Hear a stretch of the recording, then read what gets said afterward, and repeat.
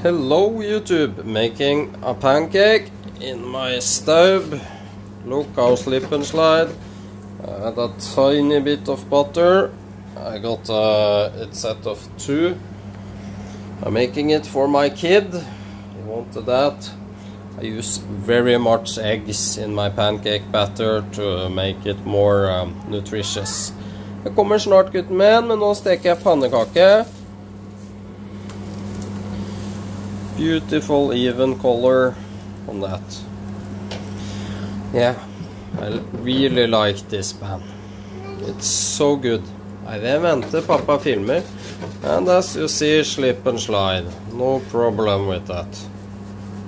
As you see. Easy peasy. Love it.